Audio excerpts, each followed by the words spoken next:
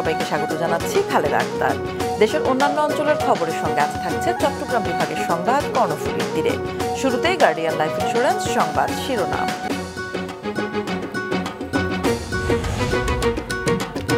স্থানীয়দের সঙ্গে সংঘর্ষের ঘটনায় রাজশাহী বিশ্ববিদ্যালয়ের শিক্ষার্থীদের বিক্ষোভ, মহাসড়ক অবরোধ। প্রশাসনিক ভবনে তালা, পরিস্থিতি নিয়ন্ত্রণে বিজিবি মোতায়েন। বিশ ঘণ্টা পর নিয়ন্ত্রণে সীতাকুণ্ডে তুলার গুদামের আগুন। উড়েছে পৌনে তিন হাজার টন তুলা। সীতাকুণ্ডে নানা দুর্ঘটনায় এক বছরে অন্তত দুইশো আটত্রিশ জনের মৃত্যু। শুনছিলেন শিরোনাম, এবার বিস্তারিত। স্থানীয়দের সঙ্গে সংঘর্ষের ঘটনায় টায়ারে আগুন দিয়ে ঢাকা রাজশাহী মহাসড়ক অবরোধ করেছে রাজশাহী বিশ্ববিদ্যালয়ের শিক্ষার্থীরা। এর আগে সকালে প্রশাসনিক ভবনে তালা ঝুলিয়ে দিয়ে ক্যাম্পাসে বিক্ষোভ করে তারা। পরিস্থিতি নিয়ন্ত্রণে পুলিশ আর র্যাবের পাশাপাশি মোতায়েন করা হয়েছে বিজিবি। রাজশাহী থেকে গোলাম রাব্বানির রিপোর্ট। শিক্ষার্থীদের উপর স্থানীয়দের হামলা ও পরবর্তী সংঘর্ষের ঘটনায় বিশ্ববিদ্যালয়ের প্রশাসনের নিষ্ক্রিয়তার অভিযোগ এনে সকাল দশটার পর থেকে প্রশাসনিক ভবনের সামনে জড়ো হতে থাকে রাজশাহী বিশ্ববিদ্যালয়ের শিক্ষার্থীরা। সাড়ে দশটায় তালা ঝুলিয়ে দেওয়া হয় ওই ভবনে। এরপর প্রশাসনিক ভবনের সামনে থেকে শিক্ষার্থীদের বিক্ষোভ মিছিল ক্যাম্পাসের বিভিন্ন সড়ক প্রদক্ষিণ করে। শিক্ষার্থীদের উপর হামলাকারী স্থানীয় ও পুলিশ সদস্যদের বিচার, বিশ্ববিদ্যালয়ে বহিরাগতদের প্রবেশ বন্ধ, শিক্ষার্থীদের নিরাপত্তা নিশ্চিত, বিশ্ববিদ্যালয়কে শতভাগ আবাসিক করা, আহত শিক্ষার্থীদের সুচিকিৎসা নিশ্চিত করা সহ বেশ কিছু দাবি জানায় সাধারণ শিক্ষার্থীরা। শিক্ষার্থীরা বলছেন, গতকালের ঘটনায় পুলিশের ভূমিকা অনেকটা নিষ্ক্রিয় ছিল। এ সুযোগে হামলা চালায় স্থানীয় সন্ত্রাসীরা। এ বিষয়ে বিশ্ববিদ্যালয় প্রশাসনের সঠিক বিবৃতির দাবি জানান তারা। আমাদের মূল দাবি হয়েছে বিশ্ববিদ্যালয় প্রশাসন আটচল্লিশ ঘণ্টার মধ্যে কালকের যে যে নেককারজনক হামলা হয়েছে পুলিশ কর্তৃক এবং শিক্ষার্থীদের উপর নির্বিচারে বুলেট নিক্ষেপ হয়েছে, এটা নিন্দনীয়। আমরা মনে করি বিশ্ববিদ্যালয় প্রশাসনের নির্দেশ ছাড়া এই ঘটনা কখনোই ঘটা সম্ভব হয়নি। তাই আমরা বিশ্ববিদ্যালয় প্রশাসন কর্তৃক সুনির্দিষ্ট জবাব দিতে চাই। এই যে আমাদের উপর হামলা হলো, স্থানীয় হামলা হলো এবং বিশ্ববিদ্যালয় থেকে যে পরিমাণ কর্তৃপক্ষের যে পরিমাণ দায়িত্বের কথা ছিল সেই পরিমাণ দায়িত্বশীল আচরণ আমরা পাইনি। দোকানে এসে হিট মেরে আমাদের জিনিসটা ফাঁকে ফেলেছে ছটা সেলাই পড়েছে মানে যে যার মতো মানে কোনো কিছু বলা নাই। দোষটা কিন্তু গ্যাঞ্জাম লাগছে ছাত্রদের সাথে বাস কন্ট্রাক্টরের সাথে বাসওয়ালার সাথে। বিনোদ মানুষের কোনো দোষ নাই। ন্যায্য দাবিতে শিক্ষার্থীদের আন্দোলনে পাশে থাকার কথা জানিয়েছে বিশ্ববিদ্যালয় প্রশাসন। যে উদ্ভূত পরিস্থিতিতে যে একটি অনাকাঙ্ক্ষিত ঘটনা হচ্ছে সেটির সঙ্গে ছাত্রদের যে ন্যায্য আন্দোলন বা ন্যায্য যে অধিকার বা দাবি সেটির সঙ্গে রাজশাহী বিশ্ববিদ্যালয় প্রশাসন সবসময় ছিল এবং এখনও আছে। তবে এই বিষয়টি নিয়ে বিশ্ববিদ্যালয়ের উপাচার্য সহ ঊর্ধ্বতন কর্মকর্তারা শিক্ষার্থীদের সাথে আলোচনা করতে চাইলে বিক্ষুব্ধ হয়ে ওঠে শিক্ষার্থীরা। এদিকে পুলিশ কমিশনার জানিয়েছেন, পরিস্থিতি নিয়ন্ত্রণে রয়েছে, তবে এ ঘটনায় পুলিশের গাফিলতি ছিল না। এই তাৎক্ষণিক ঘটনাকে কেন্দ্র করে বিশ্ববিদ্যালয়ের ছাত্ররা উত্তেজিত হয়, যার পরিপ্রেক্ষিতে এই ঘটনার সূত্রপাত হয়। এবং পরবর্তীতে আমরা জানার পরে কিন্তু পুলিশ তাৎক্ষণিকভাবে পদক্ষেপ নিয়েছে। এখানে পুলিশের কোনো রকম কোনো গাফিলতির কোনো কর্মকাণ্ড এখানে ইয়া নেই। এখন পরিস্থিতি আমাদের সম্পূর্ণ নিয়ন্ত্রণে, আমরা পুলিশের পাশাপাশি এখানে আপনারা দেখেছেন অন্য আইন শৃঙ্খলা বাহিনীর সদস্য তারা কাজ করতেছে এখানে। গতকাল বগুড়া থেকে রাজশাহী বিশ্ববিদ্যালয়ে যাওয়ার পথে চালক ও চালকের সহকারীর সঙ্গে এক শিক্ষার্থীর কথা কাটাকাটি হয়। বাসটি বিশ্ববিদ্যালয়ের বিনোদপুর ফটকে পৌঁছালে স্থানীয় এক দোকানদার এসে ওই শিক্ষার্থীদের সঙ্গে তর্কে জড়ান। এ ঘটনাকে কেন্দ্র করেই এক পর্যায়ে স্থানীয়দের সাথে শিক্ষার্থীদের ব্যাপক সংঘর্ষ শুরু হয়। দফায় দফায় এ সংঘর্ষে পুলিশ ও সাংবাদিক সহ দুই শতাধিক শিক্ষার্থী আহত হন। গোলাম রাব্বানি মাছরাঙ্গা সংবাদ, রাজশাহী। এলাকাবাসী ও শিক্ষার্থীদের সাথে সংঘর্ষের ঘটনার পর আজও উত্তপ্ত রাজশাহী বিশ্ববিদ্যালয় ক্যাম্পাস। কিছুক্ষণ আগে ক্যাম্পাস থেকে সেখানকার অবস্থা জানিয়েছেন স্টাফ রিপোর্টার গোলাম রাব্বানি। সামনে আপনারা দেখতে পাচ্ছেন যে ঢাকা রাজশাহী মহাসড়ক অবরোধ করে এখানে কাঠের গুড়ি দিয়ে তারা আন্দোলনের বিষয়ে তারা জানান দিচ্ছে যে তাদের দাবি দেওয়া পূরণ না হওয়া পর্যন্ত এই রাস্তা যেমন অবরোধ থাকবে, তেমনি বন্ধ থাকবে রাজশাহী বিশ্ববিদ্যালয়। এবং আপনারা জানেন যে আজকে এবং আগামীকাল বিশ্ববিদ্যালয়ের সকল ক্লাস পরীক্ষা যেমন বন্ধ আছে এবং যারা আন্দোলনকারী তারা বলেছেন যে যতক্ষণ ধরে এই ঘটনার সুষ্ঠু বিচার হয়নি এবং তাদের যে সমস্ত দাবি দেওয়া সেগুলো পূরণ হয়নি, বিশ্ববিদ্যালয়ে তাদের এই ধরনের বিক্ষোভ কর্মসূচি বা আন্দোলন তাদের চলমান থাকবে। সকাল থেকে রাজশাহী বিশ্ববিদ্যালয়ের সাধারণ শিক্ষার্থীরা তারা সকাল থেকে আন্দোলনে নামে এবং বিশ্ববিদ্যালয়ের প্রশাসনের যে মূল ফটক সেই ফটকে তারা তালা ঝুলিয়ে দেবে এবং এরপর শিক্ষার্থীরা পুরো বিশ্ববিদ্যালয়ে দফায় দফায় তারা বিক্ষোভ কর্মসূচি পালন করে এবং এরপর তারা বিশ্ববিদ্যালয়ের উপাচার্য বা প্রশাসনের সাথে কয়েক দফা বসার চেষ্টা করেছিল, এমনকি বিশ্ববিদ্যালয় প্রশাসনও চেয়েছিল তাদের সঙ্গে এই বিষয়ে আলাপ করার। কিন্তু এখন পর্যন্ত কোনো ফলপ্রসূ দুই পক্ষের মধ্যে কোনো আলোচনা হয়নি এবং এ বিষয়ে কোনো সমাধান হয়নি। দর্শক, এবার চট্টগ্রাম বিশ্ব, চট্টগ্রাম বিভাগের সংবাদ, কর্ণফুলীর তীরে।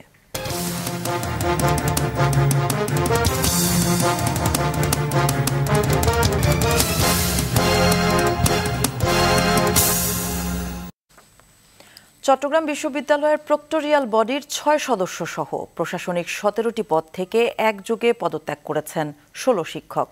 দুপুরে বিশ্ববিদ্যালয়ের রেজিস্ট্রারের কাছে এসব পদত্যাগপত্র জমা দেন তারা। পদত্যাগপত্রে ব্যক্তিগত কারণ উল্লেখ করা হয়েছে বলে জানান বিশ্ববিদ্যালয়ের ভারপ্রাপ্ত registrar K M Nur Ahmed.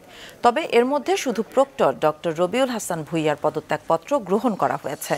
বাকিদের পদত্যাগের বিষয়টি উপাচার্যের সিদ্ধান্তের পর বিবেচনা করা হবে বলেও জানান বিশ্ববিদ্যালয়ের এই কর্মকর্তা। কোনো ধরনের আন্দোলন বা দাবি ছাড়াই একযোগে এমন পদত্যাগের ঘটনায় বিশ্ববিদ্যালয় জুড়ে আলোচনা তৈরি হয়েছে। প্রায় বিশ ঘণ্টার চেষ্টায় নিয়ন্ত্রণে এলো চট্টগ্রামের সীতাকুণ্ডের কুমিরায় ইউনিটেক্স তুলার গুদামের ভয়াবহ আগুন। সেনা, নৌ ও বিমান বাহিনী বিজিবি ও ফায়ার সার্ভিসের প্রাণান্ত চেষ্টায় আজ সকালে আগুন নিয়ন্ত্রণে আসে। তবে এখনও তুলার স্তূপ থেকে থেমে থেমে ধোয়া উঠছে। আবদুল্লা রাকিবের রিপোর্ট, ক্যামেরায় ছিলেন সঞ্জীব দেবাবু। দাও দাও আগুন। সীতাকুণ্ডের কুমিরায় ব্যবসা প্রতিষ্ঠান ইউনিটেক্সের তুলার গুদামে গতকাল সকাল সাড়ে দশটায় এ আগুন লাগে। আগুন এতটাই ভয়াবহ ছিল যে দিনভর চেষ্টার পরও ফায়ার সার্ভিসের এগারোটি ইউনিট তা নিয়ন্ত্রণে আনতে পারেনি। পরে রাতে যোগ দেয় সেনা, নৌ ও বিমান বাহিনী এবং বিজিবির ফায়ার ফাইটিং ইউনিট। সবার প্রচেষ্টায় রাত পেরিয়ে আজ সকাল সাতটার দিকে নিয়ন্ত্রণে আসে এ আগুন। এখন পর্যন্ত আর আগুন কোথাও নেই। তারপরেও আমরা ড্যাম্পিং ডাউনের কাজ হচ্ছে। যেহেতু আগুন যে কোনো জায়গাতে আগুন থাকতে পারে, একটু ধোঁয়া আছে হালকা। গতকাল রাত্র থেকে সারা রাত লোকাল ফায়ার ব্রিগেডের সাথে একসাথে একযোগে কাজ করে সারা রাত এবং ফায়ার সারা রাত কাজ করার পরে এখন বর্তমানে ফায়ার আন্ডার কন্ট্রোল চলে আসছে।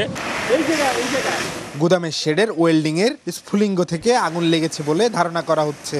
স্থানীয় প্রশাসন জানায় আগুনে পড়ে গেছে গুদামে রাখা প্রায় দু হাজার সাতশো মেট্রিক টন তুলা।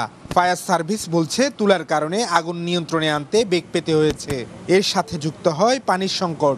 আগুন নির্বাপনের দেরি হওয়ার আরেকটা বড় কারণ হচ্ছে পানির উৎস ছিল না। যথেষ্ট পরিমাণ পানির উৎস কাছে ছিল না। আমরা অনেক দূর থেকে তিনটা পুকুর থেকে পানি আমাদের পাম্প দিয়ে পানি সংগ্রহ করে আগুন নির্বাপন করা লাগছে। ওয়েল্ডিং এর ফলেই মূলত উপরে ওয়েল্ডিং করছিল। ওয়েল্ডিং থেকে নিচে যখন স্পার্কটা নিচে পড়েছে চার থেকে সূত্রপাত হয়েছে বলে ধারণা করছি আমরা। ঘটনা তদন্তে দশ সদস্যের তদন্ত কমিটি গঠন করেছে জেলা প্রশাসন। আগুনের কারণ ও ক্ষয়ক্ষতির পরিমাণ তদন্তের পরই জানা যাবে বলছে প্রশাসন। তবে মালিক পক্ষের দাবি আগুনে একশো কোটি টাকার তুলা পড়ে গেছে। আবদুল্লাহ রাকিব মাছরাঙ্গা সংবাদ চট্টগ্রাম। বিস্ফোরণ আর অগ্নিকাণ্ডের জনপদে রূপ নিয়েছে চট্টগ্রামের সীতাকুণ্ড। কয়েক দশক ধরে এই অঞ্চলে গড়ে ওঠা শিল্প কারখানাগুলোতে বিভিন্ন দুর্ঘটনায় গেল এক বছরে দুইশো আটত্রিশ জন সহ গত দশ বছরে প্রাণ গেছে পাঁচ শতাধিক মানুষের। এজন্য তদারকি সংস্থা ও মালিক পক্ষের চরম উদাসীনতাকেই দুষছেন স্থানীয়রা। নাজমুল সাদিকের রিপোর্ট, ক্যামেরায় ছিলেন সঞ্জীব দেবাবু।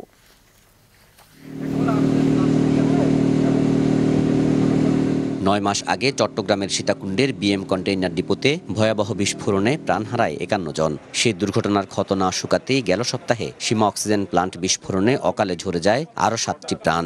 সবশেষ গতকাল কুমিরায় আগুনে পুড়ে যায় একটি তুলার কারখানা। এসব দুর্ঘটনায় আরও ক্ষতিগ্রস্ত হয় আশেপাশের বাড়িঘর ও ব্যবসা প্রতিষ্ঠান। বাংলাদেশ লেবার স্টাডিজ ইনস্টিটিউটের তথ্য মতে গত দশ বছরে চট্টগ্রাম অঞ্চলে শিল্প প্রতিষ্ঠানে বিভিন্ন দুর্ঘটনায় প্রাণ হারিয়েছে প্রায় পাঁচ শতাধিক। এর মধ্যে শুধু গেল বছরেই মারা গেছে দুইশো আটত্রিশ জন শ্রমিক। এদের অধিকাংশই সীতাকুণ্ডের বিভিন্ন প্রতিষ্ঠানের।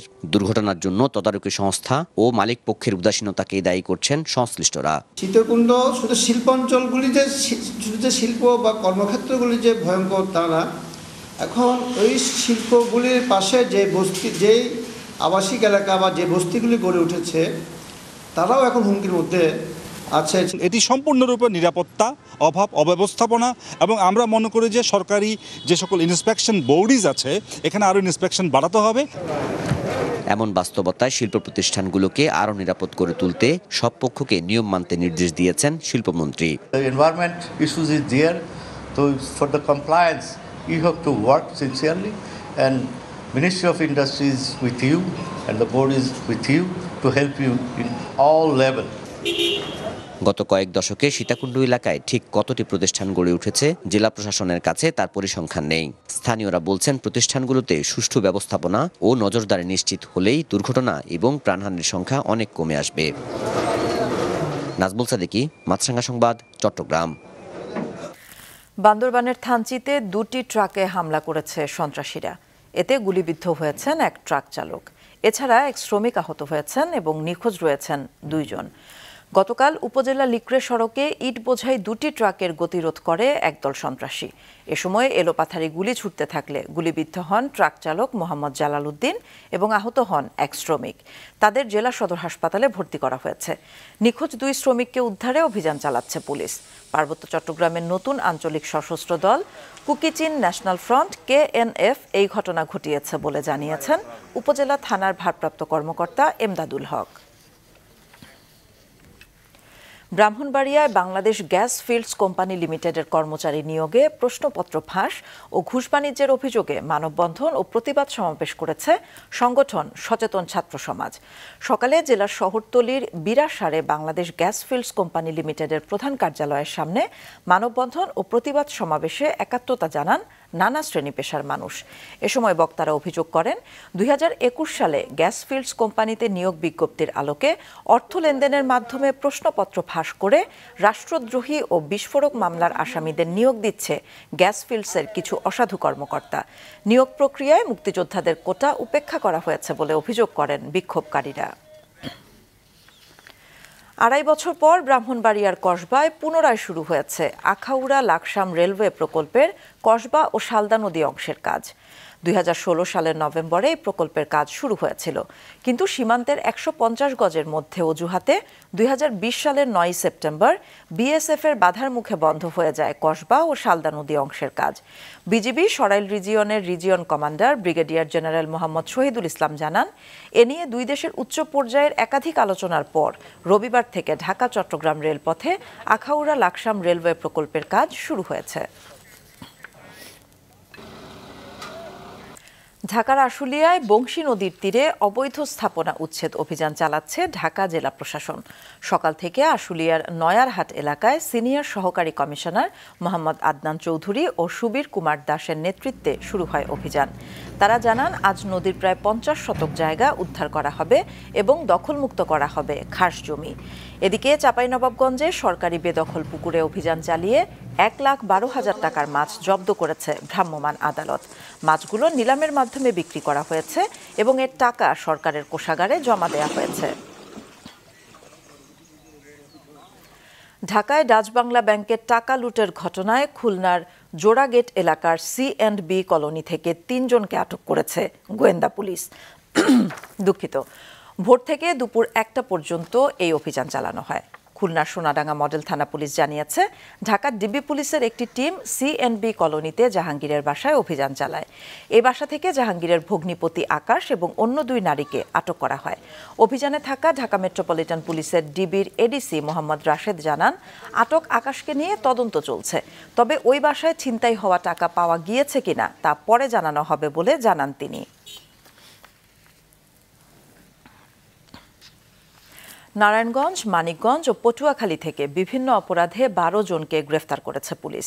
নারায়ণগঞ্জের সিদ্ধিরগঞ্জে আইনশৃঙ্খলা বাহিনীর পরিচয়ে ব্যবসায়ীর আটত্রিশ লাখ টাকা ছিনিয়ে নেয়ার ঘটনায় জড়িত সাতজনকে গ্রেফতার করেছে পিবিআই। গতরাতে ফতুল্লায় অটোরিকশা চালককে খুন করে রিকশা নিয়ে পালানোর সময় তিন ছিনতাইকারীকে গ্রেফতার করেছে পুলিশ। দীর্ঘ আঠেরো বছর পর হত্যা মামলার সাজাপ্রাপ্ত আসামি আজাদকে মানিকগঞ্জের সিঙ্গাইর থেকে গ্রেফতার করেছে র্যাব। পটুয়াখালী ডাবলুগঞ্জ ইউনিয়ন পরিষদ নির্বাচনী প্রচারে গিয়ে এক শিশুকে ধর্ষণ চেষ্টার অভিযোগে গ্রেফতার হয়েছে দেলোয়ার তালুকদার নামে একজন।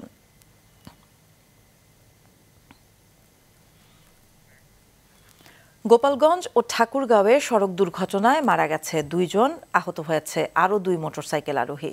গোপালগঞ্জে রাজশাহীগামী ট্রেন টুঙ্গিপাড়া এক্সপ্রেসের সাথে ধাক্কা লেগে মারা গেছেন এক স্কুল শিক্ষক। সকালে সদর উপজেলার নলডাঙ্গা এলাকায় এই দুর্ঘটনা ঘটে। রেলওয়ে থানার পরিদর্শক সোমনাথ বসু জানান, মোটরসাইকেলে স্কুলে যাবার সময় ট্রেনের সাথে ধাক্কা লেগে নিহত হন শিক্ষক বাদল বিশ্বাস। এদিকে ঠাকুরগাঁওয়ে বাসের চাপায় মারা গেছেন এক মোটরসাইকেল আরোহী। এই ঘটনায় অন্য দুই আরোহী আহত হন। দুপুরে ঠাকুরগাঁও থেকে দিনাজপুরে যাচ্ছিলেন তারা। আহতদের রংপুর মেডিকেল কলেজ হাসপাতালে ভর্তি করা হয়েছে।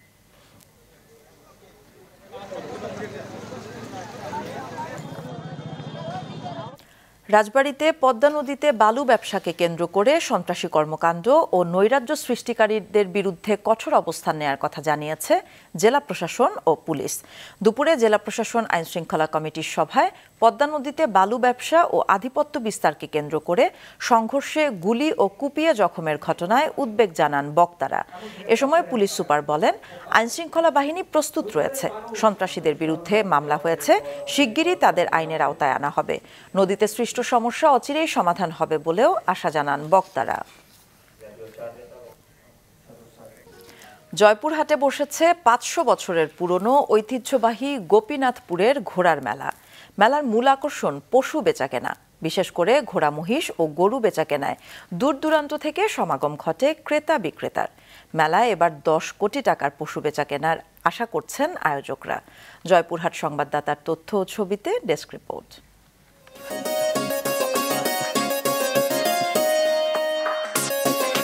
ঘোড়া, বাদশাহ ও মহারাজা। চাপাই নবাবগঞ্জ থেকে নিয়ে আসা হয়েছে শখের দুটি ঘোড়াকে। মহারাজার দাম হাঁকা হচ্ছে সাড়ে পাঁচ লাখ টাকা আর বাদশার দাম সাড়ে চার লাখ। শুধু বাদশাহ ও মহারাজাই নয়, দেশের বিভিন্ন প্রান্ত থেকে নিয়ে আসা হয়েছে নানা জাতের ঘোড়া। এবার গত বছরের চেয়ে মেলায় ঘোড়া বেশি হওয়ায় দাম কম বলে জানান বিক্রেতারা। ঘোড়া মেলা দেখতে বিভিন্ন জেলা থেকে এসেছেন দর্শনার্থীরা। ঘোড়া মহিষের পাশাপাশি মেলায় বসেছে গৃহস্থালীর নানা জাতের জিনিসপত্র, খেলনা সহ রয়েছে জেলার বিভিন্ন এলাকার ঐতিহ্যবাহী মিঠাই মিষ্টান্নের দোকান। পাঁচশো চোদ্দ বছরের এই পুরনো মেলাটি দিন দিন ছোট হয়ে আসছে বলে জানিয়েছেন আয়োজক কমিটি। মেলা শুরু হয় গত বৃহস্পতিবার, চলবে আগামী তেরো দিন। Sajib Sadik, Maasranga news desk. গোপালগঞ্জের মুকসুদপুরের ব্যবসায়ী দুলাল শেখ হত্যা মামলার মৃত্যুদণ্ডপ্রাপ্ত পলাতক প্রধান আসামি ফক্কর শেখ ওরফে ফারুক শেখকে গ্রেফতার করেছে র্যাব। ঢাকার সাভারের হেমায়তপুর থেকে তাকে গ্রেফতার করা হয়। এক সংবাদ সম্মেলনে র্যাব জানায়, দুই হাজার বারো সালে দুলাল শেখকে হত্যা করে আসামিরা। দুই একুশে মামলায় ফক্কর শেখ সহ পাঁচজনের মৃত্যুদণ্ড ও পঞ্চাশ হাজার টাকা করে অর্থদণ্ড হয়। এদিকে নওগাঁয় স্ত্রী হত্যা মামলায় বারো বছর পর স্বামী ফরিদুল রেজা ফরিদ এর মৃত্যুদণ্ডের রায় দিয়েছেন আদালত। সকালে অতিরিক্ত জেলা ও দায়রা জজ মোহাম্মদ ফেরদোস ওয়াহিদ এ রায় দেন।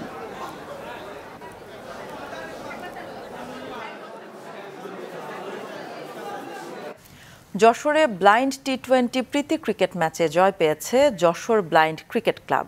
বিকেলে উপশহর বাদশাহ ফয়সাল ইসলামী ইনস্টিটিউট মাঠে অনুষ্ঠিত প্রীতি ম্যাচে তারা খুলনা ব্লাইন্ড ক্রিকেট ক্লাবকে পরাজিত করে। বাংলাদেশ ব্লাইন্ড ক্রিকেট অ্যাসোসিয়েশন এই ম্যাচের আয়োজন করে। এদিকে টাঙ্গাইল প্রেস ক্লাব ও করটিয়া সরকারি সাদত কলেজ শিক্ষক পরিষদের মধ্যে স্বাধীনতা দিবস টি টোয়েন্টি প্রীতি ক্রিকেট ম্যাচ অনুষ্ঠিত হয়েছে। গতকাল বিকেলে কলেজ মাঠে এই প্রীতি ক্রিকেট ম্যাচ অনুষ্ঠিত হয়।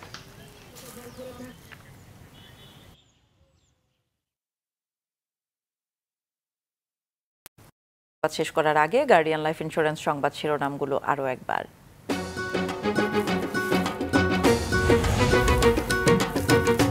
স্থানীয়দের সঙ্গে সংঘর্ষের ঘটনায় রাজশাহী বিশ্ববিদ্যালয়ের শিক্ষার্থীদের বিক্ষোভ, মহাসড়ক অবরোধ। প্রশাসনিক ভবনে তালা, পরিস্থিতি নিয়ন্ত্রণে বিজিবি মোতায়েন। বিশ ঘণ্টা পর নিয়ন্ত্রণে সীতাকুণ্ডে তুলার গুদামের আগুন। উড়েছে পৌনে তিন হাজার টন তুলা। সীতাকুণ্ডে নানা দুর্ঘটনায় এক বছরে অন্তত দুইশো আটত্রিশ জনের মৃত্যু। এই ছিল এখনকার মতো। ফেসবুকে আপডেট পেতে ভিজিট করুন মাছরাঙা টেলিভিশনের পেজে ইউটিউব চ্যানেলেও যে কোনো সময় দেখতে পারেন আমাদের সংবাদ, প্রতিবেদন ও অনুষ্ঠান। দর্শক করোনা সংক্রমণ কিন্তু এখনও চলছে। পাশাপাশি বাড়ছে বায়ু দূষণ। তাই বাইরে বের হলে নিজে মাস্ক পরুন, অন্যকেও পড়তে উৎসাহিত করুন। আমাদের পরবর্তী সংবাদ সন্ধ্যা সাতটায়। দেখার আমন্ত্রণ রইল।